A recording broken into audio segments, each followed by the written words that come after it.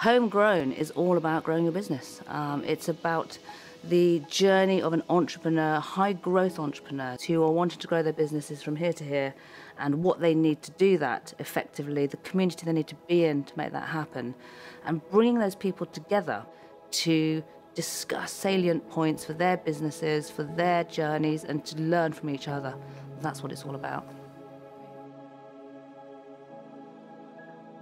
No one is doing a sort of elegant luxury uh, environment for business entrepreneurs. There are lots and lots of people doing clubs, social clubs, traditional clubs, and, and as I say, the workspace.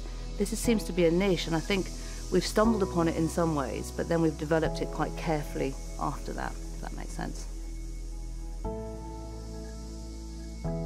EPR have done the architecture for us of developing and turning four pretty rough shaped um, Georgian townhouses into this beautiful building that, you, that we're now sitting in. That has been no mean feat from a structural perspective. There are loads of people behind the scenes that have done the technical stuff.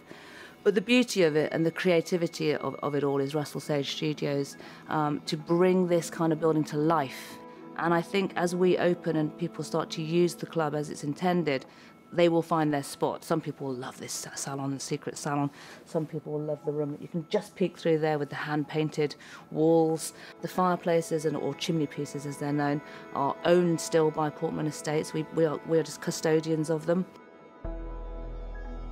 Um, we want people to feel comfortable enough to trot up to someone and say, listen, I, have never met you before and I'm doing this in my world. Is that of any interest to you? And that's a, quite a cold approach, but we want people to feel welcome and warm and, and safe enough to do that. We want to, to kind of help people do that by having the events that make it easier because they're there for a specific reason. There's some really interesting people who are coming to tell their stories and share success, failure, the potholes, um, their stories, and just have conversations.